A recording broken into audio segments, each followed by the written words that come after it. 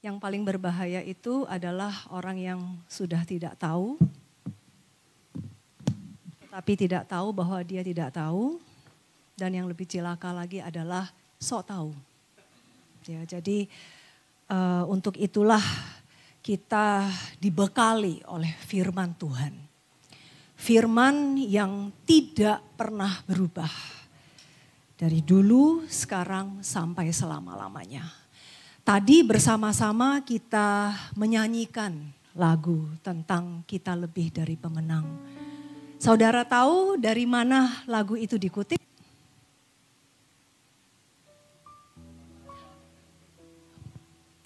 Ya, itu diambil dari kitab Roma yang sering sekali disebut sebagai the mini Bible.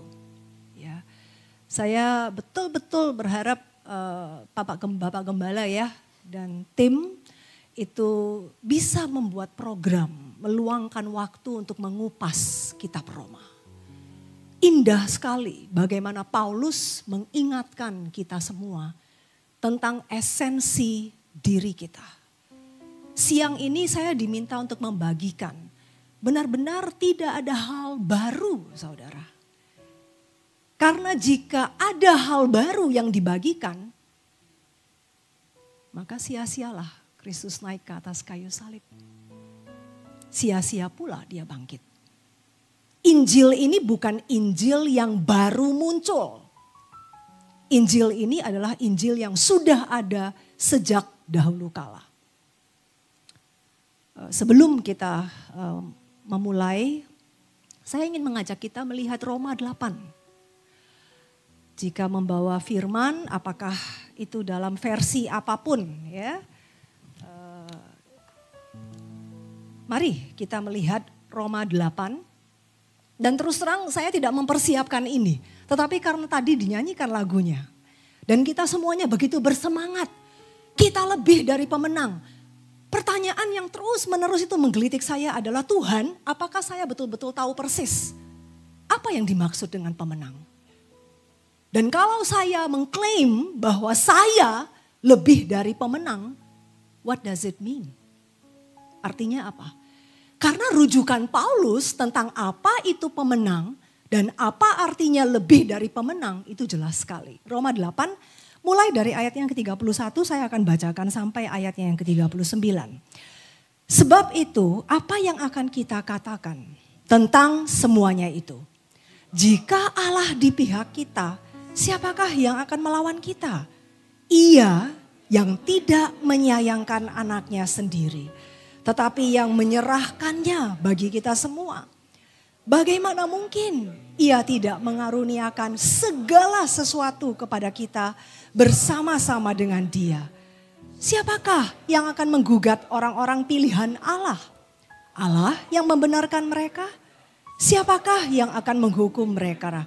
Kristus Yesus yang telah mati, bahkan lebih lagi yang telah bangkit, yang juga duduk di sebelah kanan Allah, yang malah menjadi pembela bagi kita. Siapakah yang akan memisahkan kita dari kasih Kristus? Penindasan atau kesengsaraan atau penganiayaan atau kelaparan atau ketelanjangan atau bahaya atau pedang seperti ada tertulis oleh karena engkau kami ada dalam bahaya maut sepanjang hari.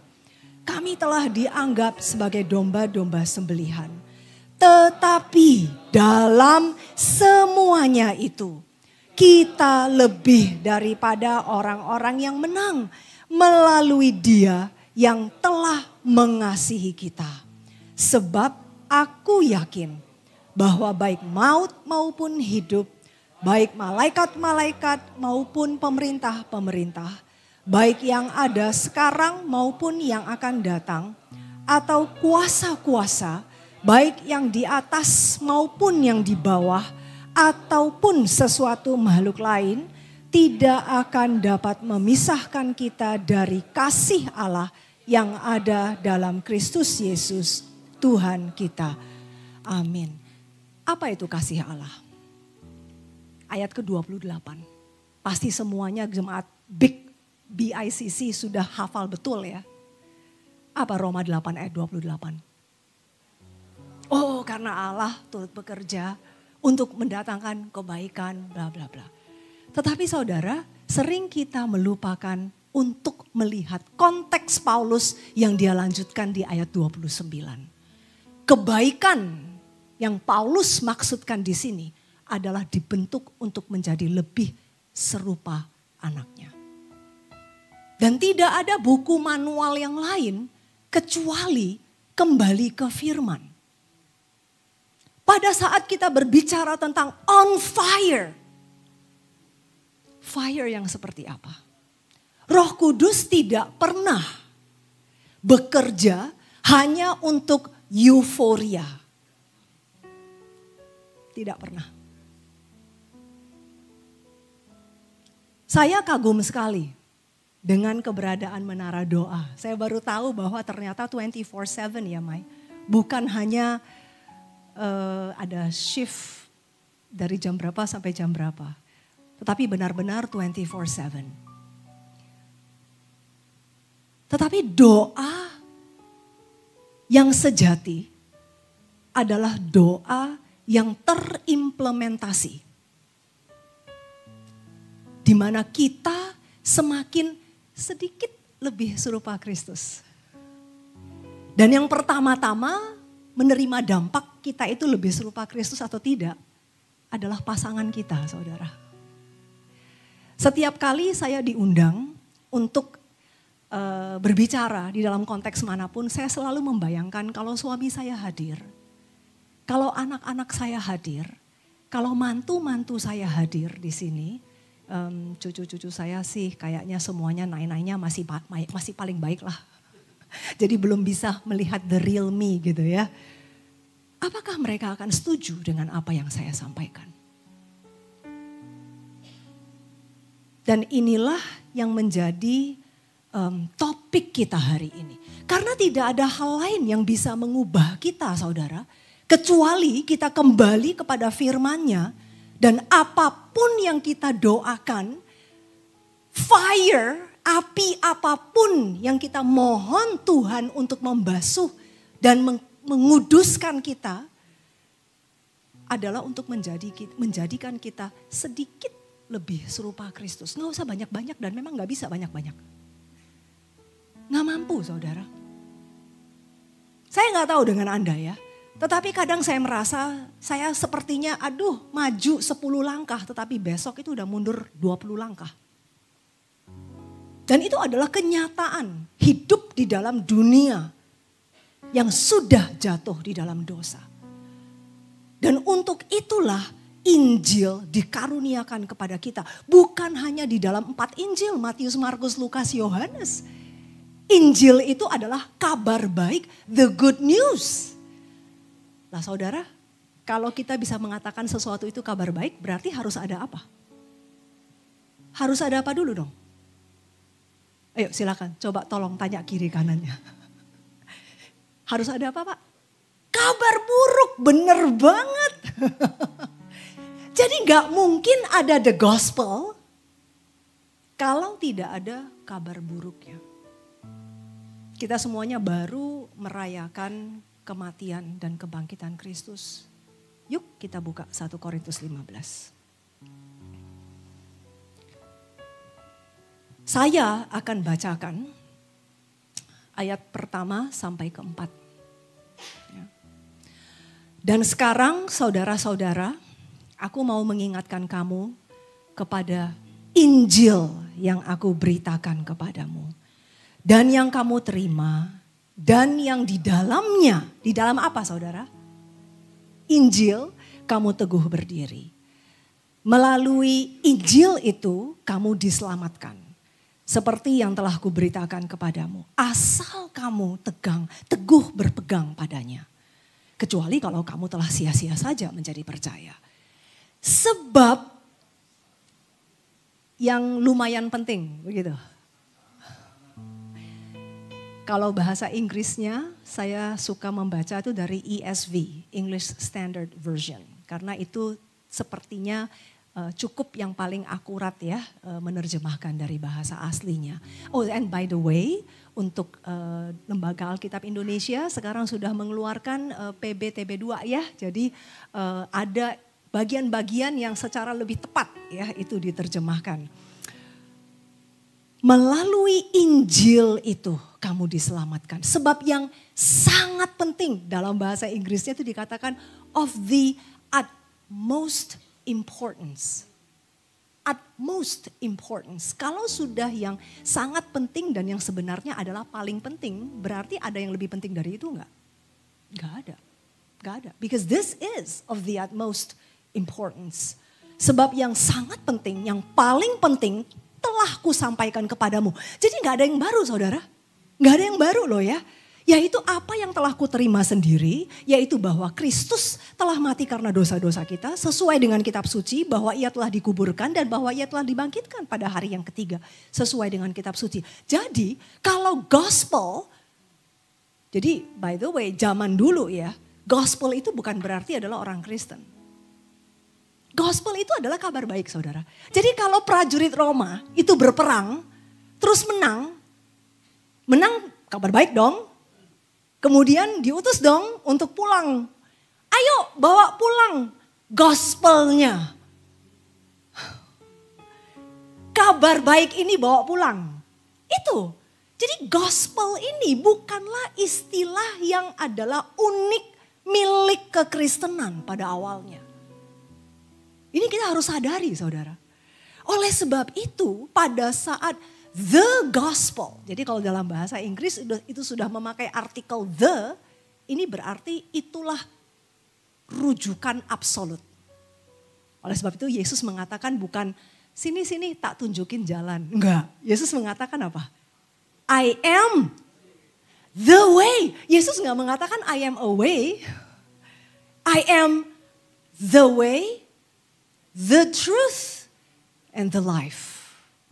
No one can come to the Father except through me. Ini yang mana sih kabar buruknya saudara? Yang mana? Benar sekali. Yesus mati karena apa saudara? Dosa. Saudara saya tidak tahu dengan Anda. Tetapi di dalam natur saya sebagai manusia yang sudah jatuh dalam dosa dan yang begitu terbatas ini. Mudah sekali bagi saya untuk lupa bahwa saya ini adalah orang berdosa. Karena at this point itu ya lebih kurang saya lahir di keluarga Buddhis saudara. Jadi ya sudah menjadi orang Kristen saat ini lebih kurang hampir empat dekade ya um, saya tidak bisa memungkiri sering sekali uh, perasaan self righteous itu menyelinap masuk loh. Karena kita itu terlalu sering membandingkan diri kita itu dengan kriminal di penjara. Apalagi yang baru-baru ini heboh. Apa itu? timah, dan apa pun berkaitan dengan sekelilingnya. Uh, dan jujur, saya baru tahu ada yang namanya Sandra Dewi. Saya baru tahu saudara. Jadi mantu saya bilang, mah ini loh kasih lihat. Oh oke, okay. rupanya sangat terkenal ya. Kita sering sekali saudara tidak melihat ini adalah kita.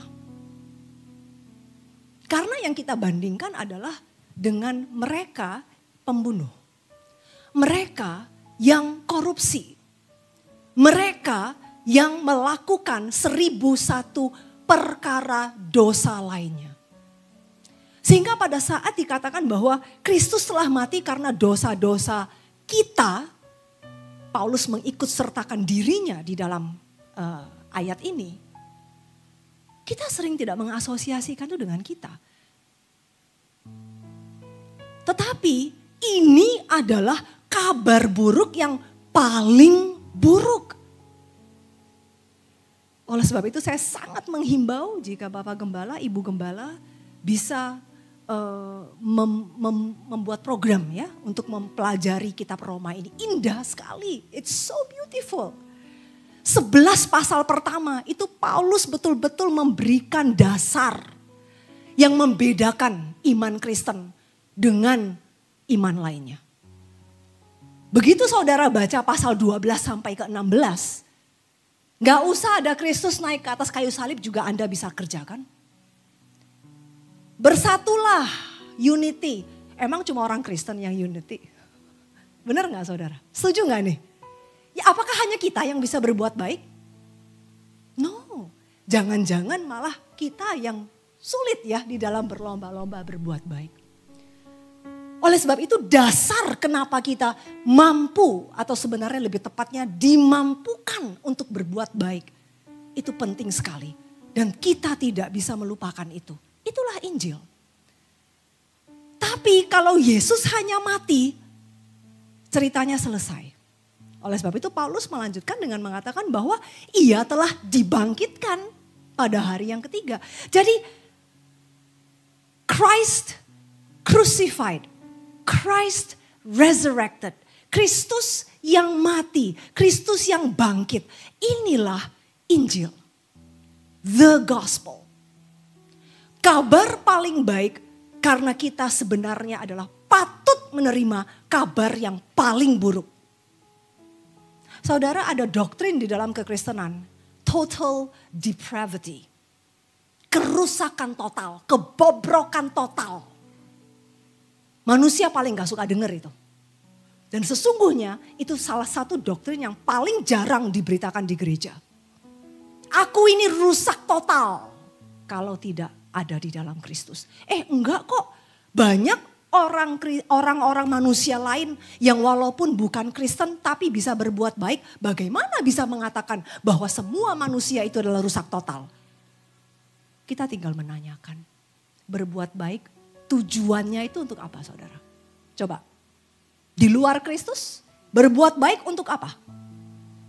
Untuk membangun tangga menuju surga.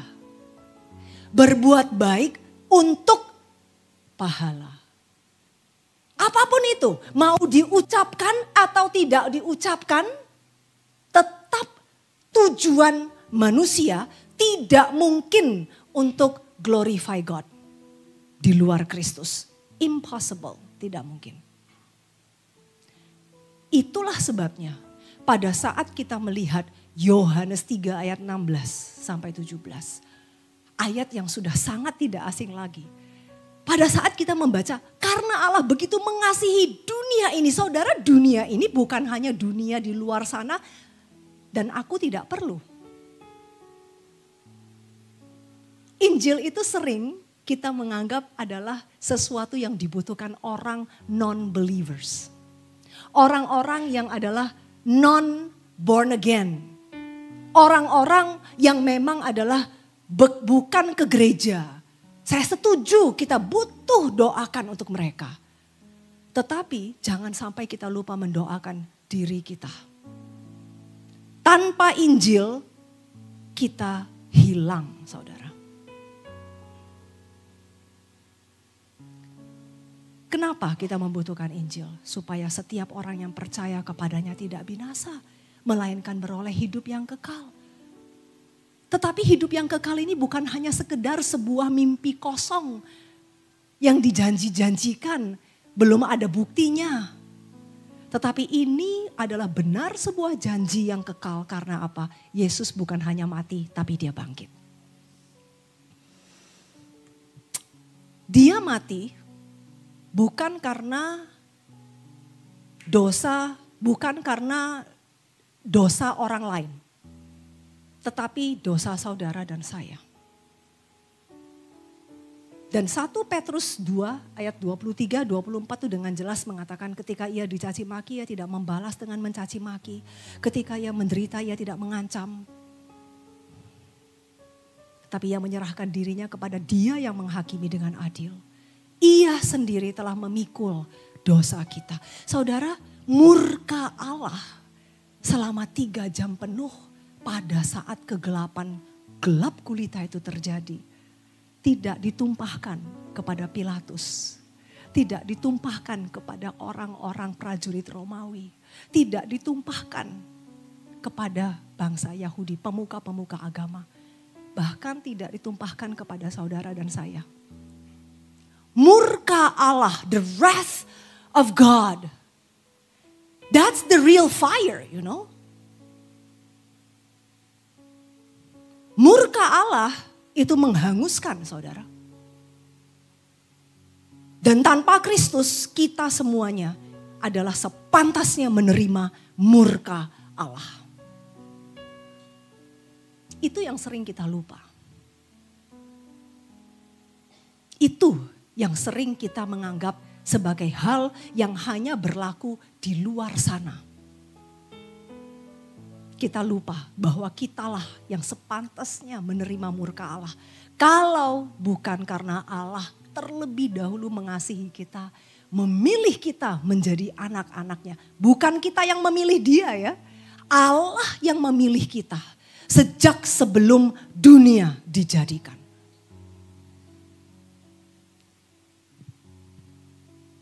Kita semua tahu pada saat tergantung di atas kayu salib. Yesus mengatakan, ya Bapa, ampunilah mereka sebab mereka tidak tahu apa yang mereka perbuat. Dan di tengah-tengah situasi yang begitu satanic, dia sudah tergantung dengan begitu menderita, tapi masih tetap dirajam dengan batu-batu verbal. Diolok-olok, diludahi, dilakukan dengan begitu menderita. Bahkan di antara dua penjahat yang dipakukan di kiri kanan Yesus, salah satunya juga merajam dia dengan verbal stone. Nah kalau ngakunya anak Allah turunkan dirimu dan selamatkan kami. Tapi bersyukur anugerah. Nah inilah anugerah saudara. Yang satu bisa seperti itu. Yang satu mengatakan apa? Mengatakan apa saudara? Ingat aku ya, sehingga Yesus mengatakan apa? Aku berkata kepadamu, sesungguhnya hari ini juga. Saudara terus terang loh ya, ini adalah orang yang paling diberkati saudara. 99,999999 persen dari hidupnya itu memalukan dan mem, memberikan uh, sebuah embarrassment kepada Tuhan. Tetapi karena dia dipilih Tuhan. Dia tidak mendengar kabar baik saudara. Dia hanya menyaksikan. Pertanyaannya bagaimana dengan situasi yang sama. Yang satu bisa mengolok-olok, yang satu bisa mengatakan Tuhan jangan lupakan aku kalau bukan karena anugerah Tuhan. Jadi saudara, betul sekali tugas kita adalah memberitakan Injil. Tetapi apakah mereka percaya atau tidak, kita tahu Tuhan yang beranugerah. Tugas kita bukan untuk menjadikan orang Kristen. Itu kristenisasi saudara. Tapi tugas kita adalah memberitakan kebenaran. Memberitakan kabar baik oleh karena ada kabar yang paling buruk. Itu tugas kita. Dan pada saat orang-orang sudah menerima, kita bertugas untuk menjadikan murid. Itu Injil. Sehingga pada saat kita melihat ayat-ayat seperti ini, kita diingatkan, ya Tuhan, sungguh ya, hidupku kalau bukan karena Tuhan beranugerah dan memilih. Di mana aku saat ini? Ada satu uh, pujian ya yang sangat saya senengin ya. Uh, itu adalah uh, Why have you chosen me? You chosen me? Tahu nggak lagu itu? Out of millions, your son, your child to be, who knows? all the wrongs that I've done. Oh Lord, Nanti saya kasih tahu ya lagunya ya. Itu pertanyaan saya ke Tuhan saudara kalau saya ketemu dia. Karena kalau saya Tuhan saya tidak akan pilih diri saya. Tapi sungguh saya bersyukur sekali anugerah Tuhan itu menjangkau. Saya yang begitu bobrok dan tidak ada artinya. Tuhan bisa memilih untuk mencurahkan kasihnya. Dan membawa saya kepada salibnya. Bersyukur sekali Tuhan beranugerah. Oleh sebab itu bagi Paulus saudara. Message-nya dia tuh jelas sekali. Aku telah memutuskan, I have decided tidak mengetahui apa-apa di antara kamu selain apa? Yesus Kristus. Yaitu dia yang disalibkan. Disalibkan bukan karena dosanya. Disalibkan karena dia memang harus menerima murka Allah karena tidak ada cara lain. Kenapa Yesus datang pada Natal yang pertama? Karena memang tidak ada cara yang lain saudara. Yesus tidak harus datang hanya karena Allah kemudian kaget. Loh, kok Adam dan Hawa memilih untuk melawan aku ya? Oh enggak. Injil itu is not an afterthought. Ini adalah rancangan Allah sudah sejak dari mulanya. Oleh sebab itu, Paulus ini yang menjadi ayat ya, yang menjadi ayat kunci yang membawa yang Tuhan pakai untuk membawa Martin Luther menuju kepada mematek 95 tesis di pintu gereja di Wittenberg. Aku tidak malu terhadap Injil. Karena Injil adalah kekuatan Allah yang menyelamatkan setiap orang percaya. Pertama-tama orang Yahudi, kemudian orang Yunani. Kita ini semua masuk golongan non-Yahudi pohon anggur yang dicangkokkan. Itu Roma 9 termasuk salah satu pasal yang paling sulit sekali di, di, dikotbahkan. Banyak sekali hamba-hamba Tuhan yang melewati pasal tersebut. Karena memang sulit untuk memahami. Tetapi itulah misteri. Ulangan 29 ayat 29 dengan tegas mengatakan bahwa the secret The mystery belongs to God. Yang kita tidak bisa pahami itu milik Tuhan, tetapi yang sudah disingkapkan kepada kita, itulah untuk kita taati.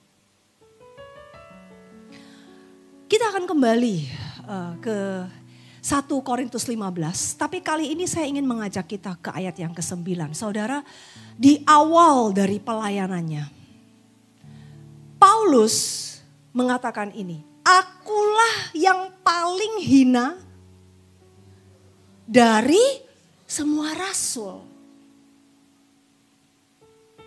Kemudian di tengah-tengah perjalanan pelayanannya, dia pun menulis kepada jemaat di Efesus dan tentu saja kita semua tentu tahu Efesus ini dituliskan sebagai surat terbuka untuk gereja universal ya.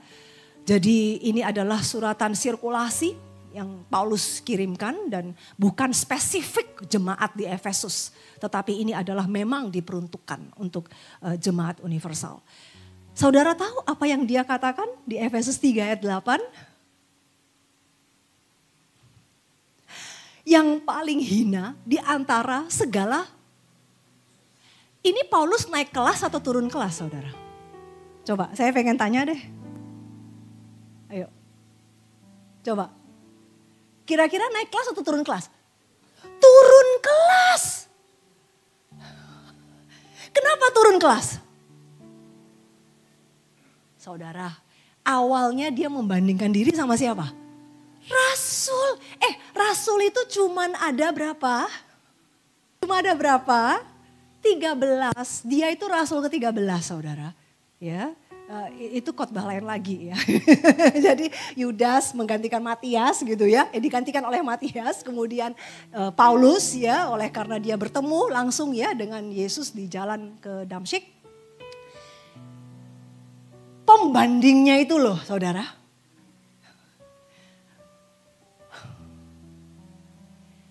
Sekarang dia paling hina di antara siapa? Orang orang kudus itu siapa sih? Kita semua. Ayo coba lihat kiri kanannya. Kita orang kudus loh. Kalau ada yang belum tahu kita ini orang kudus cilaka saudara ya. Karena arti kudus itu sebenarnya adalah dipisahkan untuk tujuan tertentu. Artinya cuma itu. Ya, jadi dikuduskan itu artinya kita dipisahkan. Dan kita itu adalah orang-orang kudus. Nah, jadi kalau pembanding dia di, di awal di Korintus itu adalah aku paling hina dari semua rasul, Terus dia bangun-bangun-bangun jemaat. Di Efesus dia bilang, oh sekarang aku paling hina di antara orang kudus. Ini terlihat secara kasat mata adalah turun kelas.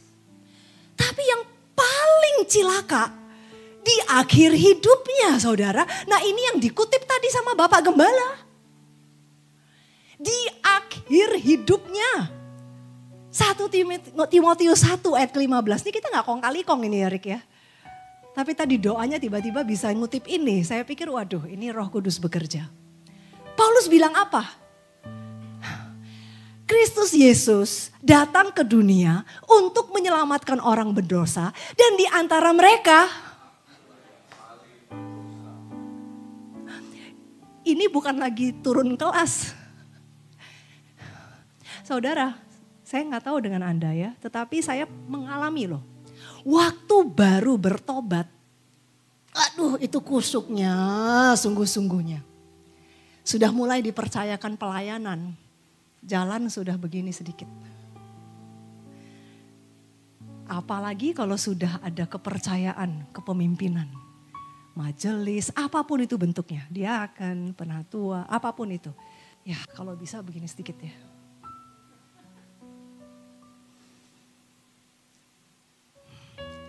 Semakin kita terbiasa dengan kekristenan, saudara. Istilah-istilah rohani. Hati kita yang jahat ini akan semakin callous. Uh, apa itu? Uh, itu loh, kayak kapalan ya. Uh, callous, semakin ke, ke, kapalan, kepalan, kapalan ya tebal semakin semakin gak peka saudara. Dan semakin gak sadar. Paulus yang mendirikan lebih dari 50 jemaat. Pada akhir hidupnya dia semakin merasa aku orang paling berdosa di antara orang berdosa. Saudara apakah kita paham bahwa Injil itu adalah benar-benar untuk menebus kita orang berdosa. Jika Kristus tidak beranugerah, kita sudah hilang di dalam seluruh keberdosaan kita. Dan sampai kita memahami this total depravity. Kerusakan total. Bukan hanya karena kita tidak mampu berbuat baik. Praktis kalau kita mau jujur, Tiap hari kita bangun, oke kita yang sudah terbiasa dengan renungan, dengan doa. Tetapi sering sekali itu menjadi rutinitas yang memang harus kita jalani. Ini menjadi sesuatu hal yang harus kita conteng.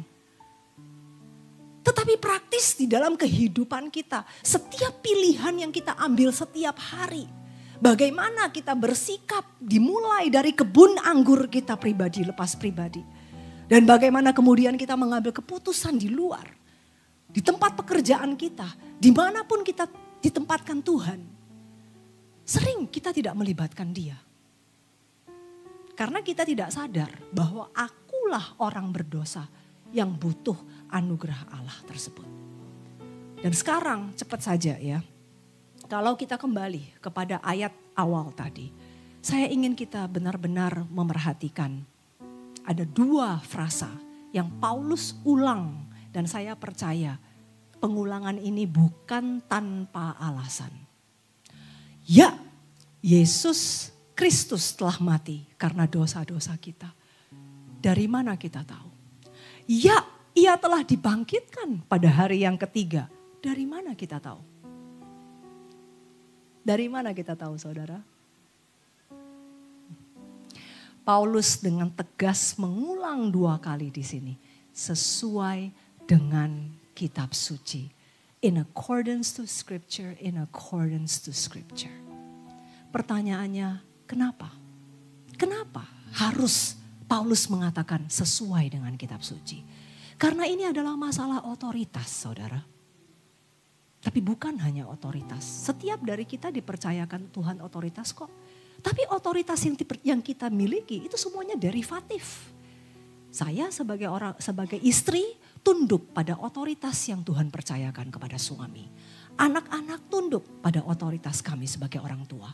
Tetapi otoritas yang kita miliki itu semuanya bersifat derivatif. Turunan dipercayakan kepada kita. Apa yang menjadi rujukan absolut otoritas? Tuhan, betul Tuhan yang mana? Jangan salah saudara, Yakobus mengatakan iblis juga percaya dan gemetar. Tuhan yang mana? Oh Tuhan yang kita kenal, Tuhan Allah Tritunggal, Tritunggal yang kita kenal di dalam pribadi dan karya anaknya. Oke, okay, anaknya yang mana? Yesus Kristus. Yesus Kristus yang mana? Yesus Kristus yang sinterklas, Yesus Kristus yang menjawab semua doa, apa pun doa itu. Jelas sekali ada Yesus Kristus sesuai yang disaksikan oleh firman. Oleh sebab itu, absolute authority itu sungguh harus kita mohon. Saya betul-betul berdoa agar gereja di tempat ini Tuhan karuniakan hati yang benar-benar terus dipelihara untuk mengakui otoritas absolut dari firman Allah. Karena kalau tidak saudara, kita sangat terbiasa untuk mengikuti suara mayoritas. Dan kadang apa yang disampaikan oleh firman itu tidak tren dan tidak sesuai dengan suara mayoritas. Masalah ini bukan hanya baru sekarang, sejak dari Taman Eden. Otoritas absolut yang Allah percayakan sudah dipertanyakan. Zaman sekarang terlebih lagi hidup kita sudah lebih sering disetir oleh katanya. Kata dari sosial media, kata dari begitu banyak sumber otoritas lainnya.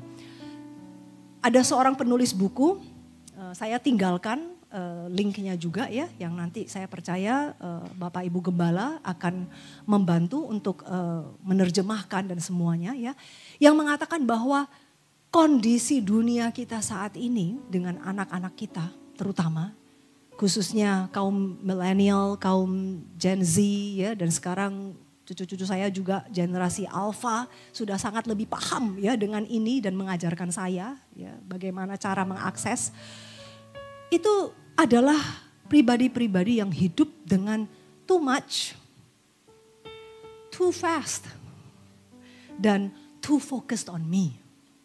Ini tiga hal paling cilaka saat ini saudara.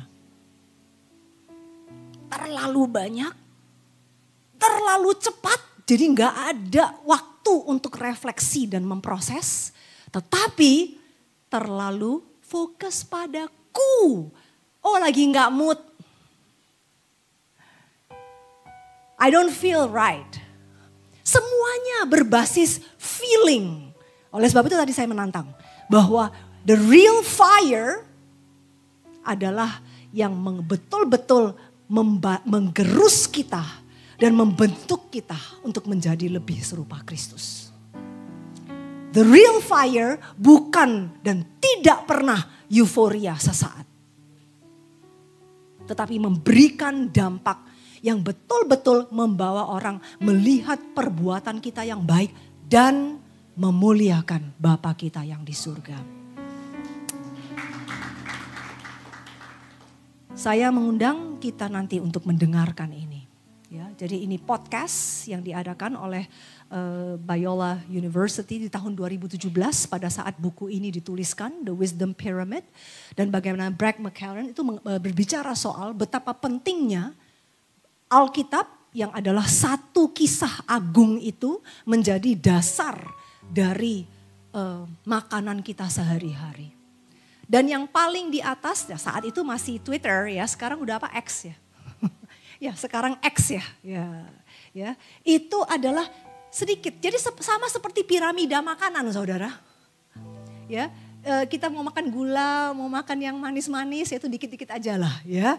Nah, mana yang menjadi kebutuhan pokok yang paling banyak? Ini. Jadi back to the Bible, back to the Bible, back to the Bible. Itulah yang menggerakkan reformasi. Inilah yang menggerakkan Martin Luther di tahun 1517 untuk mematekkan 95 tesis di pintu gereja. Tidak bisa berdasarkan apa kata pemimpin saja. Kata pemimpin itu harus disaring sesuai enggak dengan apa? Firman. Sola yang pertama, sola scriptura. Sola scriptura ini untuk membukakan kepada kita apa? Bahwa Allah telah mengaruniakan iman kepada kita. Saudara, jangan salah loh ya. Manusia tidak ada yang bisa hidup tanpa iman. Orang ateis sekalipun itu adalah hidupnya beriman, saudara. Tapi pertanyaannya, pada saat kita melihat kepada Alkitab, Iman yang seperti apa? Iman yang kita terima hanya di dalam anugerah. Kenapa? Karena iman ini harus menuntun kita kembali kepada Kristus, solus Kristus.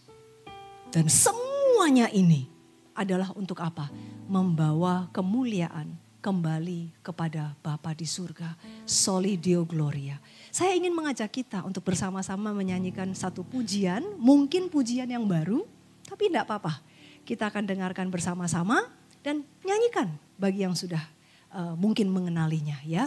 Pujian ini sangat bagus, very gospel centered, very theologically sound ya. Dan betul-betul mengingatkan kita akan kelima sola yang sudah menuntun kita sampai kepada abad ke-21 ini. Tetap setia di dalam kebenaran firman Allah.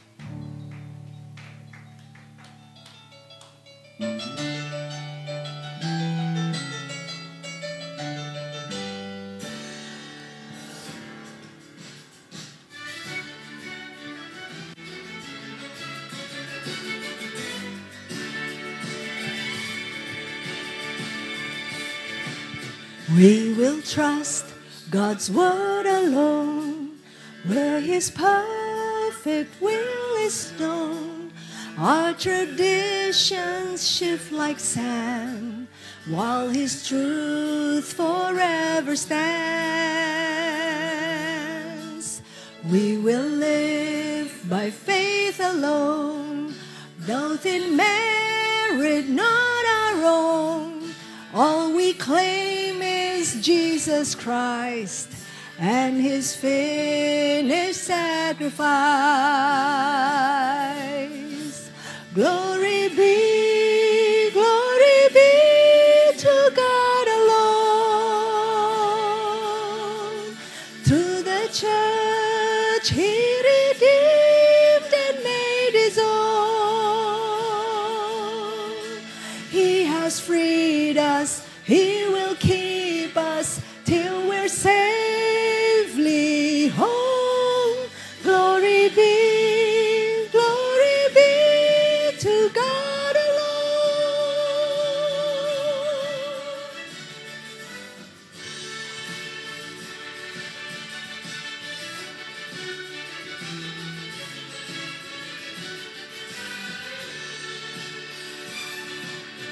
We are saved by grace alone, undeserved yet freely shown. No accomplishment on earth can achieve the second birth. We will stand on Christ alone, the unyielding cornerstone. Nations rage and devils roar, still he reigns forevermore.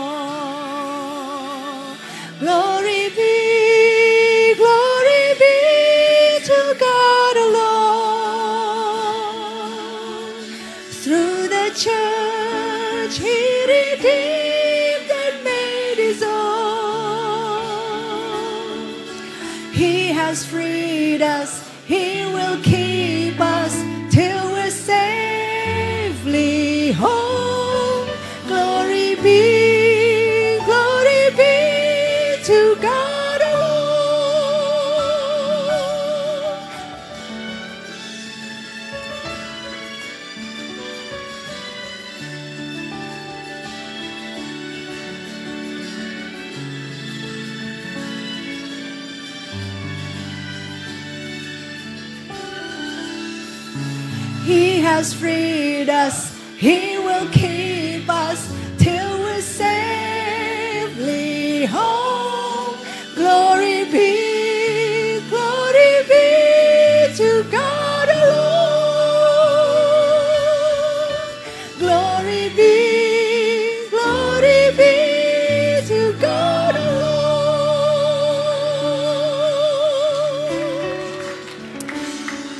Bapa di dalam surga, kami sungguh bersyukur untuk hari ini, untuk semuanya yang Tuhan sudah pimpin. Langsung.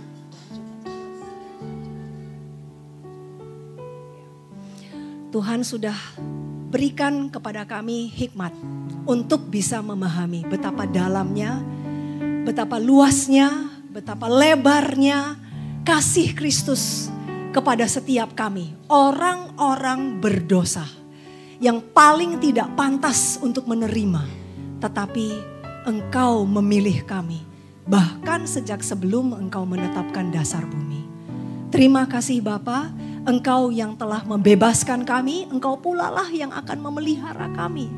Engkau yang akan menopang kami sampai kami kembali. Apakah Engkau terlebih dahulu kembali atau kami bertemu muka dengan muka dengan Engkau. Kami percaya anugerahmu lah yang memimpin dan memelihara kami. Karena itu saudara-saudara aku sujud kepada Bapa yang darinya semua keluarga yang di dalam surga dan di atas bumi menerima namanya. Aku berdoa supaya ia menurut kekayaan kemuliaannya menguatkan kamu dengan kuasa melalui rohnya di dalam batinmu. Sehingga oleh imanmu Kristus tinggal di dalam hatimu dan kamu berakar serta berdasar di dalam kasih. Aku berdoa supaya kamu bersama-sama dengan semua orang kudus dapat memahami betapa lebarnya dan panjangnya dan tingginya dan dalamnya kasih Kristus. Dan dapat mengenal kasih itu yang melampaui segala pengetahuan. Aku berdoa supaya kamu dipenuhi di dalam seluruh kepunahan Allah.